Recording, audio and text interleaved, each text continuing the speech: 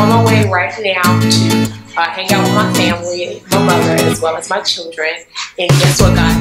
Today we're going to do a Mother's Day Warhead Sour Candy Challenge. We're going to have everybody in my family eat a piece of sour candy, and you guys are going to have the luxury of seeing the crazy expressions on their face.